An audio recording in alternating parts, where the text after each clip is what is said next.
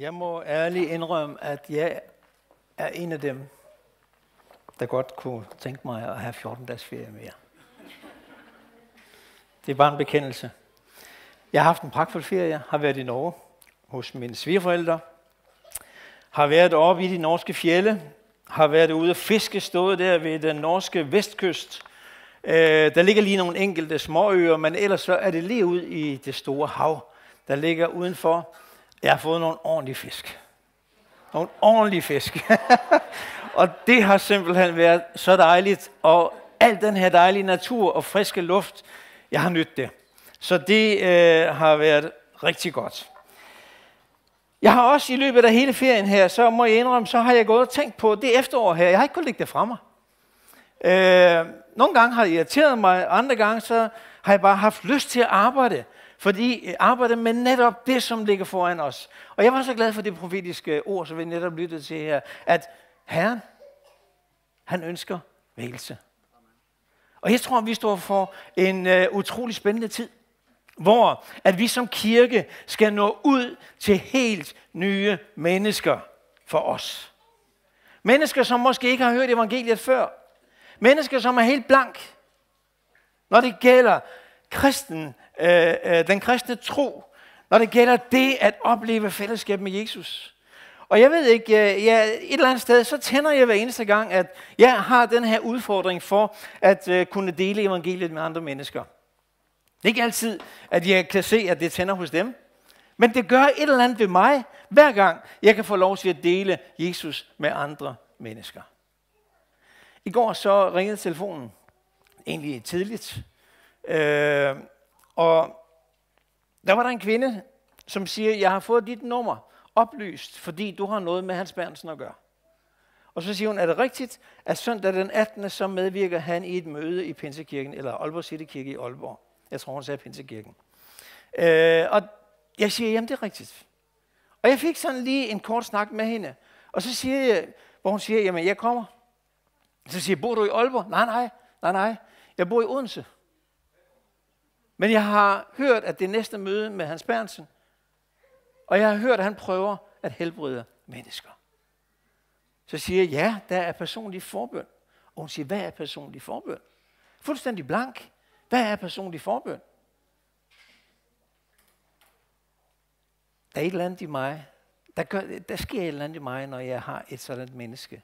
Og jeg ved, at her er der en, som er i nød. Som ikke kender til Jesus har hørt om, at der findes en, som, som øh, prøver at helbrede, som har været et redskab for, at mange mennesker kan, kan øh, blive hjulpet. Og have et sådan et menneske i røret, og bare sige, jeg glæder mig til at se dig næste søndag. Og så står man der, efter sådan en samtale, en lille smule magtesløs. Så kører tankerne lidt, jamen hvad er det for en sygdom? Jamen, øh, hun kører helt fra Odense herop. Hvad, hvad hvis nu der ikke sker noget? Kender I den her lidt magtesløshed, som man egentlig godt kan føle? Og jeg har egentlig også følt det, når jeg har gået op i Norge og fanget de her store fisk og, og alle de her ting. Så har jeg gået endnu mere. Ja, så har jeg gået, egentlig har følt mig en lille smule magtesløs, magtesløs og tænkt, hvad er det for noget, vi egentlig er i gang med? Vi rykker ud i Vestbyen. Vi rykker ud i Hasseris. Vi rykker ned i Midtbyen. Vi har planer om at dele en masse flyers ud. Den her, det er en lille en. Der kommer en, som, er, som fortæller lidt mere om arrangementet. Øh, de her forskellige møder. Den her er en, du skal bruge. Og være med til at gøre det kendt i, i de, blandt de mennesker, du møder. Men vi skal ud og dele dem her ud. Vi skal have en bønnevandring i Vestbyen, hvor vi er, går ud og er med til at bede for alle de mennesker, der bor i den bydel, og hvor der egentlig ikke er en frikirke. Vi skal samles til bøn. Vi skal på gaden. Og så skal vi bare dele dem her ud og prøve at møde mennesker der, hvor de er. Og så sige, hov, her er der et tilbud til dig. Alt det her, det kan jeg godt lide at være med til at sætte i gang, og jeg kan også godt lide at være en del af det. Men magtesløsheden, den kommer egentlig igen og igen, hvor man, hvor man bare oplever det her, åh, det er jo ikke nok, at vi bare går på gaden. Det er jo ikke nok, at vi bare øh, arrangerer og leger lokaler og gør alle de her forskellige ting. Men det er jo egentlig så vigtigt for os at høre, hvad er det, Herren, han vil gøre i vores by. Og hvad er det, han vil gøre iblandt de mennesker, du færdes iblandt, og skal invitere med til det her? Dem, som vi møder på gaden.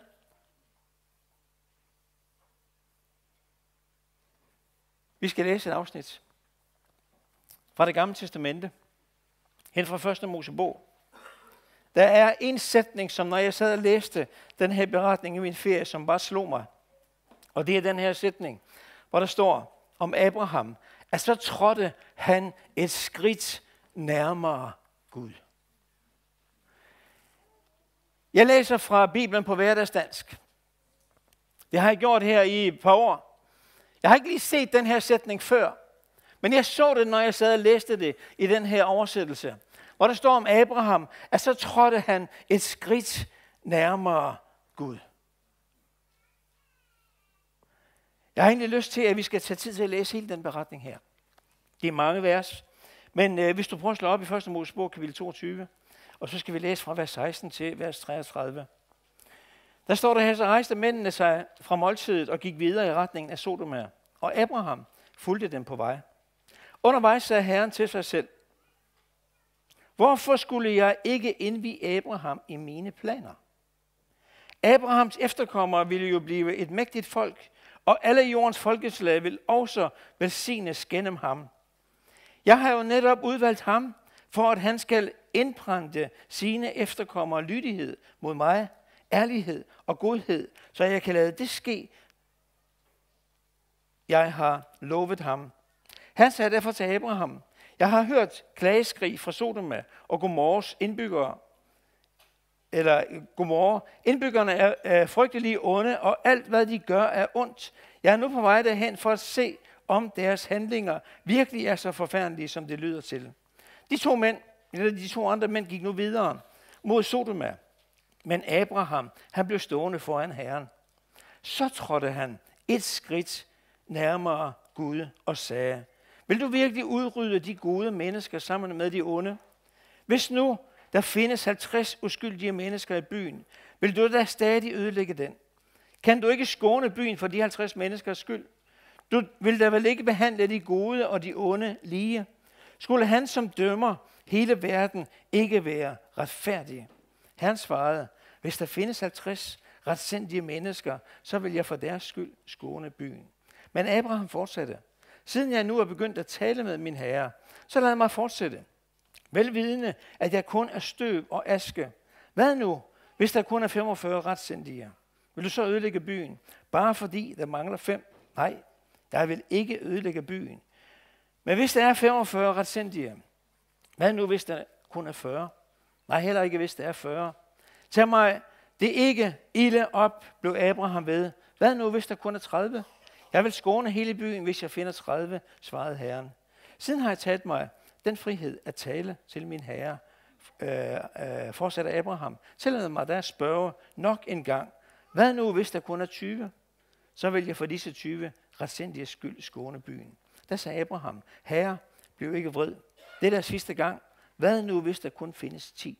Og herren svarede, så vil jeg for disse 10 uskyldiges øh, skyld skåne hele byen. Da han var færdig med at tale med Abraham, gik han videre, mens Abraham vendte hjem til sit telt. Herren, han, Gud, han siger sådan her, hvorfor skulle jeg ikke indvige Abraham i mine planer? Det sagde han egentlig til sig selv. Hvorfor skulle jeg egentlig ikke indvige Abraham i mine planer? Jeg har jo udvalgt ham. Han er jo et redskab i min hånd. Og jeg tror egentlig, at, øh, og så er det, at han kommer og åbenbarer øh, netop det, han, de planer, han havde, det han ville gøre for Abraham. Og jeg tror, og jeg er sikker på, at Gud, han er den, der ønsker at åbenbare sig for os. Og jeg er så indfoldigt, at når vi står foran en kampagne som den her øh, i øh, Vestbyen, og lige sådan i, i øh, City her i Aalborg, så er jeg overbevist om, at det er hans planer, som han har givet videre. Det er noget, vi i lederskabet egentlig har arbejdet med i lang tid. Det har egentlig kommet som et ønske, men hvor vi også har fået lov til at høre, hvad er det, Herren han vil? Han er den, der ønsker at åbenbare sig. Han åbenbarer sig for Abraham. Han fortæller om, hvad det er, han, om det skrig, han har oplevet fra disse her byer. Og at hans tanke egentlig er at udrydde disse byer. Og så er det, at Abraham, når han hører det, så får han hjerte for alle disse her mennesker. Og så tænker han, det kan ikke være rigtigt. Og så står der, at han træder et skridt nærmere Gud. Den sætning her, den er gået lige ind i mit hjerte. Fordi jeg er klar over, at det er det, jeg behøver. Det er det, som er løsningen. Det er egentlig ikke mere arbejde. Det er ikke mere præstation. Det er ikke at fylde kalenderen endnu mere op. Det er ikke alle de her ting, der gør det. Men det, som er nødvendigt for Guds kirke i dag, det, som er nødvendigt for mig, det er, at jeg træder et skridt nærmere Gud. Det var ikke Gud, der trådte et skridt nærmere til Abraham. Gud vidste, at han kunne tale, tale til Abraham. Gud, han kendte Abrahams hjerte. Han vidste, at her havde han en tjener, en trofast tjener, han havde fællesskab med. Abraham levede i det fællesskab.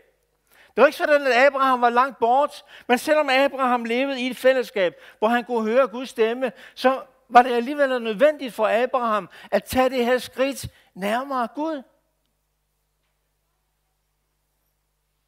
Og der var det ikke bare Abraham, eller Gud, der talte til Abraham, men der opstod der en dialog. Der begynder Abraham at få frimodighed til også at tale til Gud. Og egentlig også begynder at stille spørgsmålstegn ved nogle af de ting, som Gud han havde besluttet og sagt, han ville gøre. Abraham er nødt for den her by. Han siger, jamen vil du virkelig udslette hele byen? Tænk, hvis der findes 50 retfærdige i denne by.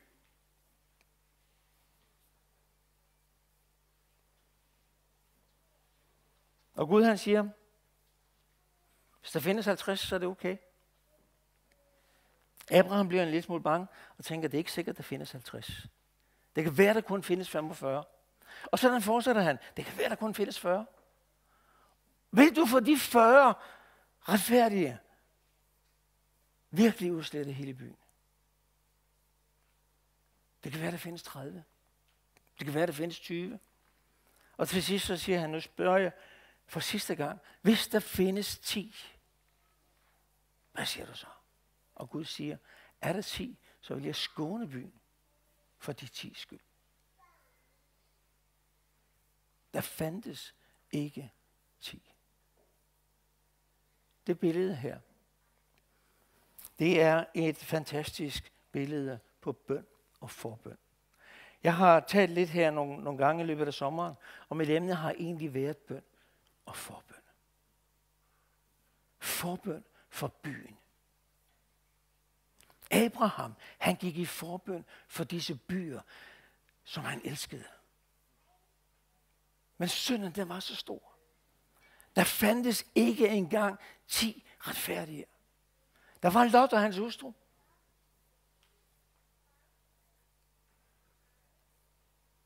Men Abraham, han turde at tage det her skridt nærmere og Gud, og så gå i forbøn. Gå ind i dialog for hele den her by, for disse mennesker. Jeg tør godt at sige, at uanset hvor rigtigt bønneliv du har, eller du måske aldrig øh, rigtig beder anden, hvis du er i nød, hvis du oplever det svært. Jeg tror, det med bønnen, det kan være, det kan være sådan i op og ned øh, i vores liv. Når jeg tænker på mig selv, så er der perioder, hvor jeg virkelig har været tændt og har brugt tid sammen med Herren. Jeg har altid bedt. Jeg er vokset op i en familie, hvor at bønnen var helt naturlig. Det var, nødvendigt. Det, var, det var helt naturligt at bede, og derfor har jeg altid gjort det. Men tider i mit liv, så har jeg nok haft et tættere fællesskab med Herren. Så har Jesus bare betydet noget mere. Og hvor jeg bare har haft den her lyst til at være inde i, i, i det her nære fællesskab med ham. Men jeg har aldrig nogensinde været der, hvor jeg ikke kunne tage endnu et skridt nærmere Jesus. Og jeg tror, at Jesus han kalder os i dag, som kirke til at tage et skridt nærmere. Komme lidt tættere på. Høre, hvad det er, han siger. Opleve åbenbaringen. Og ud fra det gå i forbøn. Vær med til at bede. Og hvis vi skal opleve netop i en kampagne som den her, at der er en gennemslagskraft, at mennesker virkelig får lov til at opleve evangeliets kraft, Få lov til at se Jesus. Jeg kan ikke åbenbare Jesus for mennesker.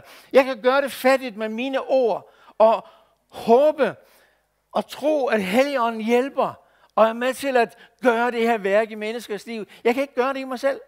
Tro mig, jeg har prøvet. Jeg er ikke jordens mest veltalende mand, men med de små gaver, jeg har fået, der har jeg prøvet at overbevise mennesker. Jeg har bare kommet til kort igen og igen og igen. Men så har jeg også oplevet til tider, at Helligånden har taget over. Mine ord måske ikke har været så, så skarpe, så store, så mægtige. Men oplevet, hvordan, hvordan at disse her få ord, det her hjerte, jeg har kunnet dele, har gjort et værk i menneskers liv.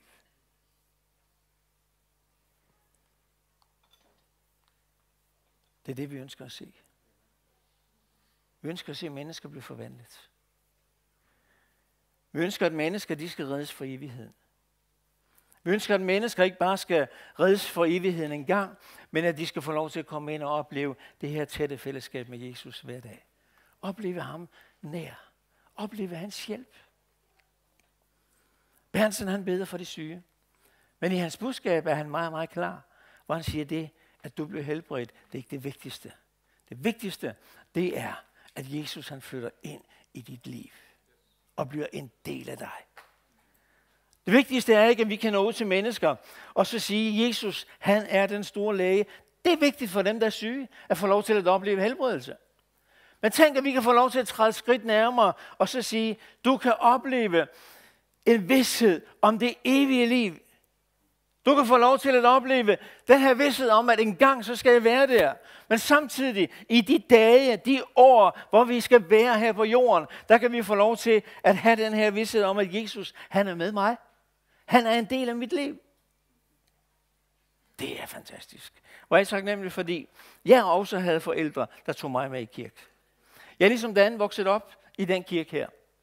Jeg tror ikke, jeg var mange dage gamle, før jeg var her. Første gang.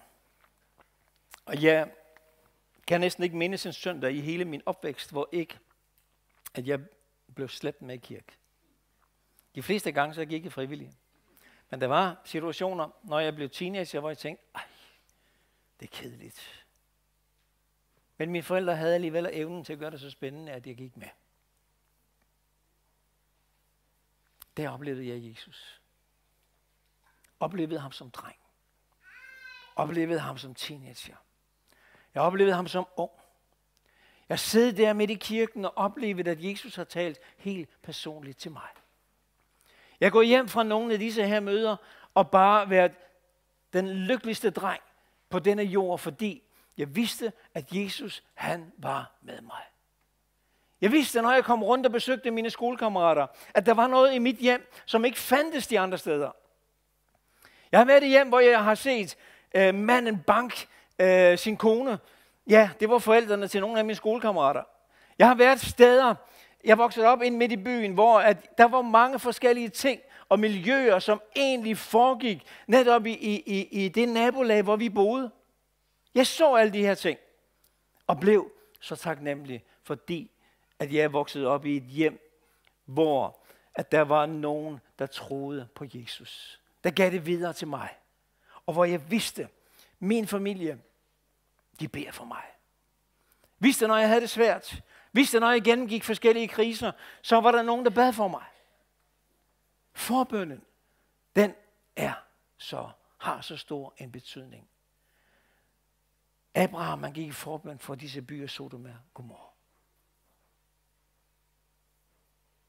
Jeg tror, at han, han kalder os til at gå i forbøn på en helt speciel måde. Træde det her skridt nærmere Jesus og gå i forbøn for denne by. Jeg har nævnt tidligere her. Jeg ved, da for et par måneder siden skete der noget øh, øh, med mig, hvor jeg var klar over, at, at øh, øh, jeg kommer til at prioritere bønnen meget mere, end jeg har gjort tidligere.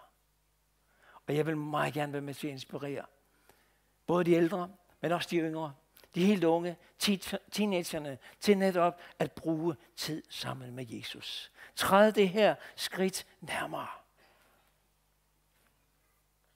Og så opleve fællesskab med ham, vi tror på. Nogle gange kan han føle sig langt bort. Han er slet ikke så langt væk. Han er lige her. Og der sker noget, når vi går i forbøn. Så sker der noget. Jeg husker en gang, hvor vi havde en kampagne i øh, en anden by, hvor jeg var, hvor at vi, vi, øh, skulle, øh, vi havde planer, tanker om at starte et arbejde i en ny by. Og på det her tidspunkt, så havde vi utrolig meget bøn netop for den her by. Og øh, egentlig inden vi kom i gang med selve kampagnen, og var begyndt at bede for den her by, vi tog et kort, og så begyndte vi at bede for alle disse her byer rundt omkring den by. Når vi havde bønnemøder, så sad vi med det her kort, så sad vi og bad. Så sad vi og bad. Og jeg tænkte, kære venner, alle de her byer, jeg kender dem slet ikke. De lå ude omkring Hedensted, ude omkring Julesminde, hele det område. Og min forundring var egentlig utrolig stor en dag, hvor jeg pludselig havde en øh, kvinde i telefonen, som siger, er du præst i Pinsekirken? Ja. Vi har lige været på øh, biblioteket, der lå en bøg, bog, og inde i den her bog, så lå der en lille traktat. Den er gammel, sagde hun. Den har ligget i den bog lang tid. Men øh, vi fandt, har fundet frem til præsten i den her kirke. Vil du komme ud og besøge os? Og jeg så ud til en lille by, Stovby tror jeg den hed. Og der møder jeg en, øh, et forældrepar. De var ældre. Så havde de en søn, som var gift, og konen sad der, og så havde de en anden søn. Og så rullede de hele deres liv op, hvor de egentlig havde været inde i Jehovas vidner igennem mange år, havde fundet ud af, at det her, det er ikke rigtigt, det er forkert. Hvor i verden skulle vi vende os hen? Hvad skulle vi gøre? Så gik de på biblioteket, så lånte de en, en bog, som er, som er en, som tidligere havde været Jehovas vidner. Og inde i den her bog, der lå den her traktat. Og jeg tænkte, det er egentlig utroligt. Det var den by, vi har bedt for. Det er jo den by, vi har siddet på bøndemøderne i Hedensted hver mandag aften i en lang periode og bedt for. Pludselig så er der altså mennesker, som går og låner en bog og finder en gammel traktat til en kirke. Telefonnummer, det, det, det duede ikke længere. Men de fandt frem til præsten. Og jeg glæder mig aldrig, hvad der skete ind i den her familie, når de fik lov til at opleve Jesus. Blev sat fri fra den trældom, de egentlig havde været, øh, været bundet af, men fik lov til at opleve Jesus så konkret. Fantastisk. Jeg var i Frederikshavn for en del år siden. Jeg var øh, med, når vi startede, havde pioneraktion øh, deroppe, hvor vi egentlig startede kirken. Der havde været en kirke for mange år siden. Men vi startede op i starten af 70'erne. Ja, så gammel er jeg. I pionerfasen deroppe, så lærte jeg et ægtepar at kende, der hed Rita og Sten Filskov.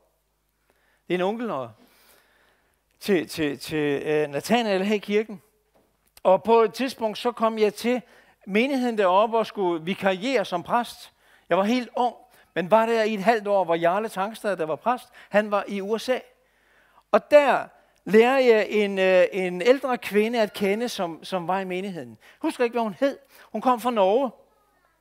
Og hun øh, øh, fortalte mig en dag, før vi startede kirke, før det her ægtepar, som egentlig var grundlaget også for kirken, der hed Sten og Rita Filskov, så hun var en kristen, den her kvinde, kom i Indre Mission.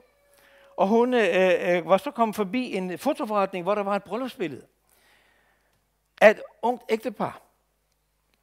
Og hun siger, fortæller mig, når jeg så det her billede, så begyndte jeg at bede for dem. Og det gjorde faktisk, at hver gang jeg var inde i byen, så skulle jeg lige forbi den her forretning. Og der var et eller andet hos de her mennesker, der gjorde, at jeg bare måtte bede for dem. Og hun bad for dem. Hun Anede ikke, hvem de var. Kendte dem ikke. Vidste ikke, om de var kristne. Vidste ikke noget som helst andet end det her brudebillede. Og det her brudebillede, det blev altså ved med at hænge der. Nogle gange så skifter man dem ud, og der blev skiftet ud alle andre billeder. Men lige det billede, det blev hængende. Og hun mødte op, og hun fortæller mig, næsten dagligt, så var jeg nede. Fordi det var lidt stærkere, når jeg havde billedet. Men jeg begyndte at bede for dem. Jeg bad for dem, jeg bad for dem, jeg bad for dem. Bad om, at hvis ikke de kendte Jesus, så skulle de lære Jesus at kende. Og alle de her ting, som, som er helt naturlige for os som kristne. Så blev billedet til sidst taget ned. Og hun siger, det var lidt sværere, men jeg blev stadigvæk ved med at bede. Pludselig en dag, så kommer hun ind i den her kirke, som var en ny kirke i byen, Pinsekirken, og øh, får et kæmpe chok, fordi hun finder ud af, dem hun har bedt for i flere år, de var i den kirke. Hun snakker med dem, finder egentlig ud af, at på det tidspunkt, hvor de blev gift, der var de ikke kristne. De kendte ikke Jesus. Hele den familie, ligesom Nathanaels far, Folke, øh, deres far og så videre, der skete faktisk en vækkelse ind i familien. Og ja, det berørte mig bare så, når jeg besøgte den her, den her ældre dame, der bare sad og fortalte om det her, hvor jeg var klar over, jamen kære venner, det er jo ikke så unaturligt, at det lige var dem. Det var ikke så unaturligt, at de på en, en, en, en, en meget speciel måde egentlig fandt Jesus. Fordi de havde haft forbedere. Jeg tror ikke, at det er så specielt, at, at jeg egentlig øh, øh, fik lov til at opleve Jesus, og har fået lov til at opleve mange ting i mit liv, fordi jeg ved, at jeg havde forældre, der bad for mig. Jeg havde søskende, der bad for mig. Og senere i mit liv, så har jeg haft mange forbeder. Jeg nyder at have forbeder. Fordi jeg ved, at det er dem, som er med til at gøre en forskel ind i mit liv. Karen Laversen sidder hernede. Hendes, øh, Karen, øh, Karens far, jeg husker ham, øh, han tog samtidig lige fat i mig, når han var til gudstjeneste her. Jeg var ikke så gammel. Og så siger han, Karsten, jeg beder for dig. Åh, det betyder så meget. Senere har Karen fortalt, at jeg stod på listen, der hang på køleskabet, tror jeg det var. Karsten Jensen. Der var en, der bad. Jeg mødte engang en kvinde. Hun var spastisk lammet. Jeg var helt ung. Var på sådan et bibelkursus i København. Hun hed Mariette Maling. Og hun øh, øh, tog fat i mig på et tidspunkt. Nævner mit navn. Vidste, hvad min kone hed. Vidste, hvad jeg lavede. Hvor det var, jeg var præst. Og, og jeg tænker, jamen, jeg har aldrig mødt den her kvinde før. Og jeg sætter mig ned og snakker med hende. Og hun havde meget svært ved at snakke. Men hun fortæller mig, Herren har sagt, at jeg skal bede for dig. Og jeg siger, hvordan, hvordan, hvordan, øh, hvem, hvor kender du navnet på min kone? Hun siger, jamen jeg har jo spurgt mig for. Jeg har jo spurgt. Fordi Herren en gang, hvor jeg så dig, sagde til mig, ham skal du bede for. Og hver eneste år på sommercamp, og hver var jeg i København og mødte hende der, så behøvede jeg ikke at fortælle hende en hel masse, for hun vidste alt. Hun vidste, hvad mine børn de hed. Hun vidste, hvor gamle de var. Jeg tror også, hun vidste, hvilken skole de gik på. Hun var simpelthen bare orienteret. Jeg fortalte hende aldrig noget. Men jeg sad bare og nød at være i hendes fællesskab, fordi her var der en, som kendte til det at bede.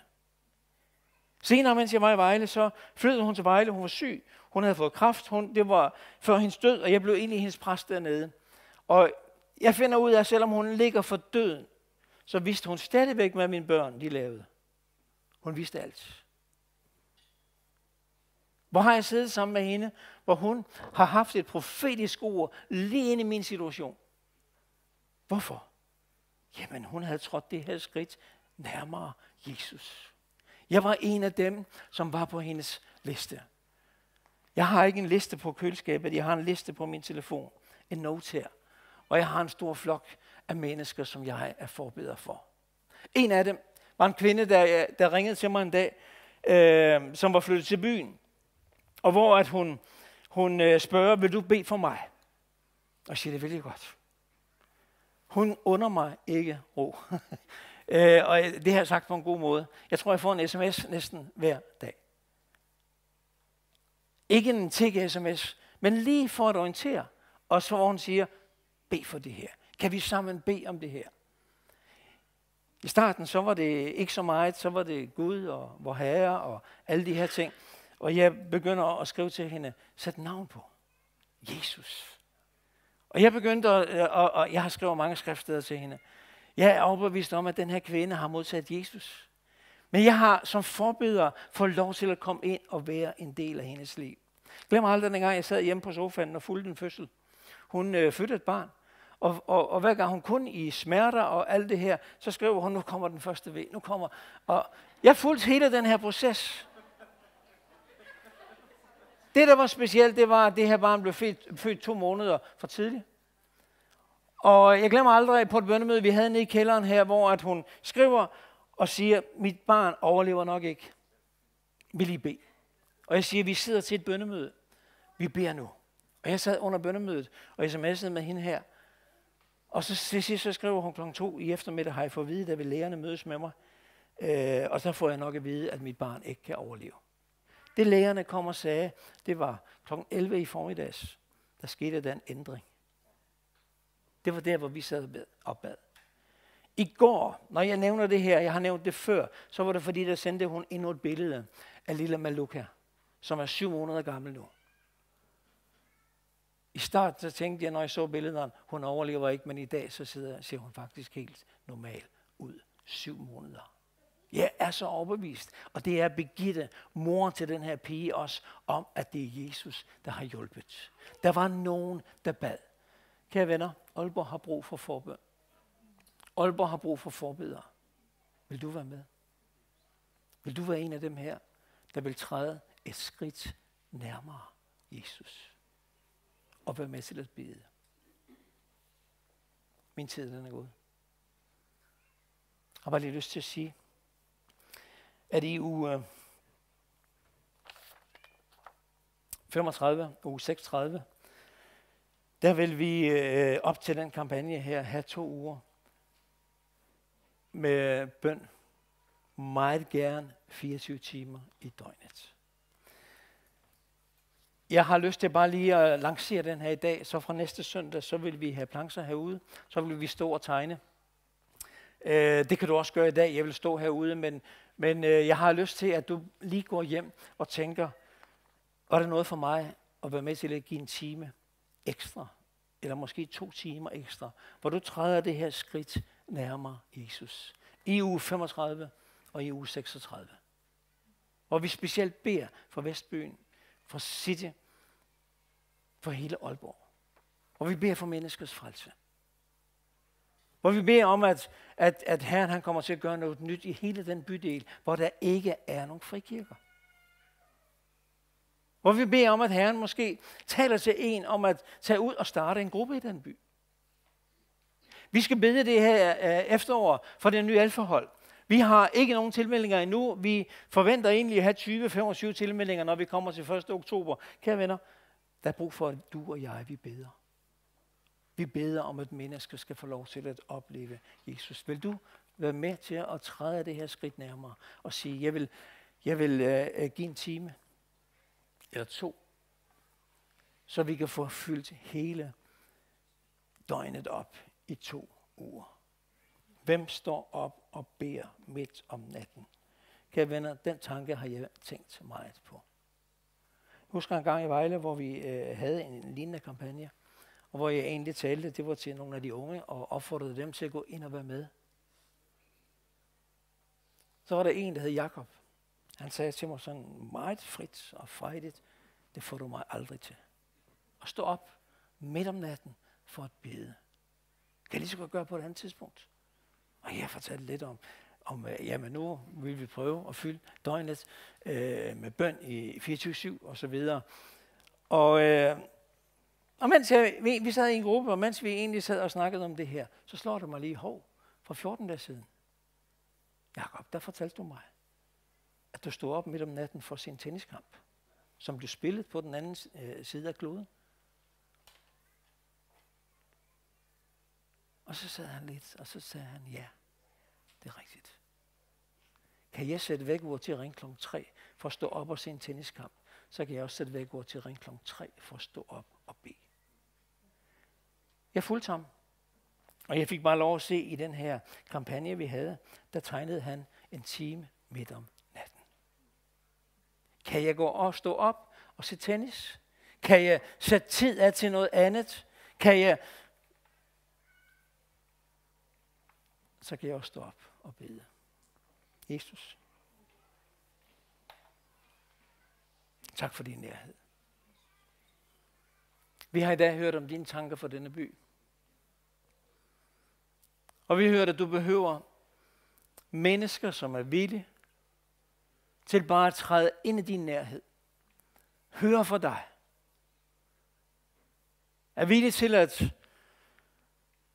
gå derhen, hvor du vil have, at vi skal gå. Giv det, du vil have, at vi skal give. Jesus lige nu.